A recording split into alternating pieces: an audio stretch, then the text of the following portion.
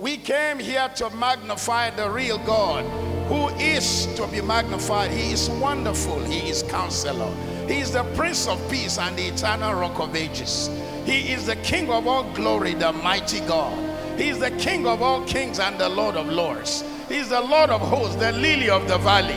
He is our healer, our deliverer, our provider, our creator, our porter, our day star, our cornerstone.